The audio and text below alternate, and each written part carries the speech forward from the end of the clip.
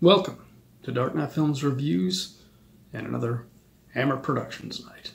Tonight, I will be reviewing The Two Faces of Dr. Jekyll, released in 1960.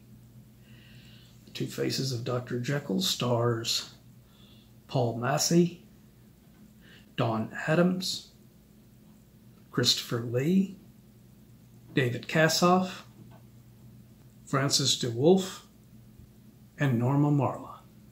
The Two Faces of Dr. Jekyll was directed by Terence Fisher.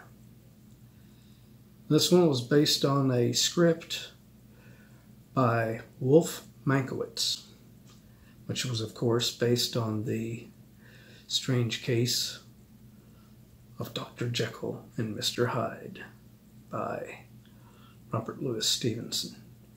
Now, this film is unique for two reasons. Number one, the serum that is normally ingestible that makes him into Mr. Hyde.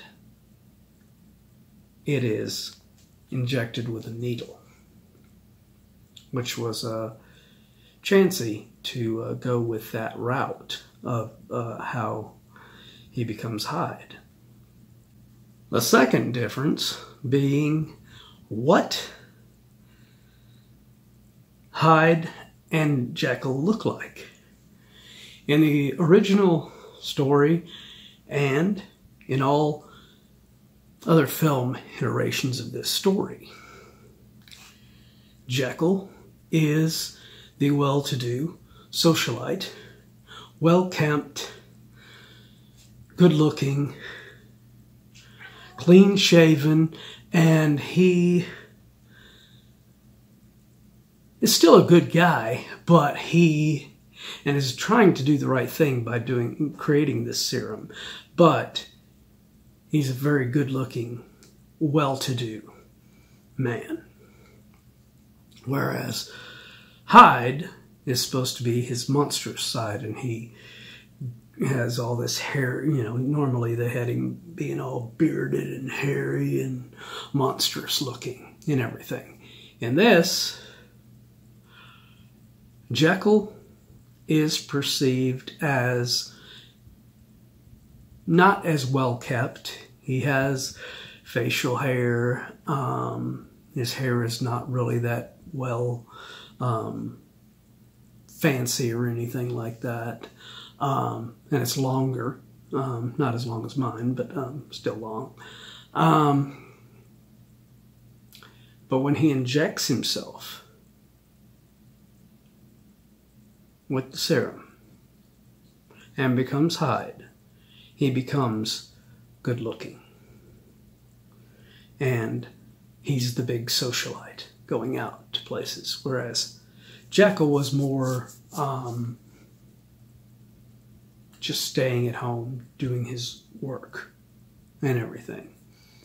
Um, so, yeah, it's it's quite a change where they flip those things around and everything in here. And Paul Massie um, gives an excellent performance, uh, giving each persona different gravitas and different ways, inflections, the way that he talks, the way he speaks, the way he moves. Everything is different between Jekyll and Hyde and very well done performance in this film. Dawn Addams plays his bitch of a wife um, named Kitty, who pretends that she cares about Jekyll and wants to help him and everything.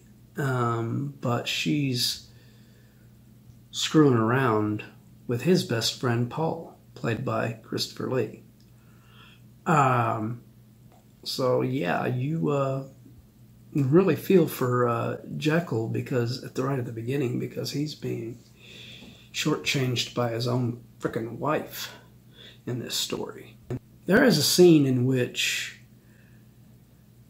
um, Paul and Hyde get together and go out um, to some big social gala, and uh, they're just having a ball there. They're having fun here and everything. And th- one of the actors that's in this sequence um, is none other than a young Oliver Reed in one of his early roles, and uh, he was he was impressive just in the little small role that he played in this.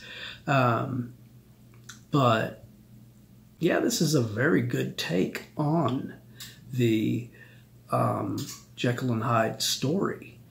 Francis de Wolff plays in this as the inspector, and uh, much like one of his earlier roles in uh, Hammer with uh, Hound of the Baskerville, he uh, he's quite good in this, playing this character.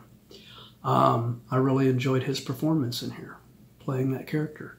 So, um, Hyde is, since he's good looking and everything, he's more suave, debonair, and manipulative in his ways of doing stuff instead of being more just straight up, um, you know, flagrant evil. Um, as as you know, he still has those moments where you just see those eyes, you see that evil in his eyes and evil in his you know, you can tell his mind is thinking of doing evil things, but he, uh, the way he looks with that different look of him being this good looking um, socialite, it just, uh, it's really unnerving the way that, that they flipped the script on that, on this film. And uh, I think it works quite well. So, in closing, I will give the two faces of Dr. Jekyll from 1960. I will give this film a 8.5 out of 10. This is one of the better Dr. Jekyll and Mr. Hyde movies. And if you have not seen it, I would highly recommend you check it out because it is a very good take on the story. But have you seen it? Do you agree with my review if you have seen it? Let me know in those comments down below. And as usual, if you enjoyed this video, do not forget to hit that like, share, and subscribe button because it really does help this channel out a lot. And don't forget to hit that bell icon to be notified of future videos. All right.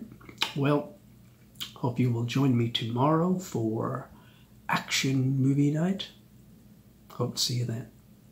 Thanks for watching.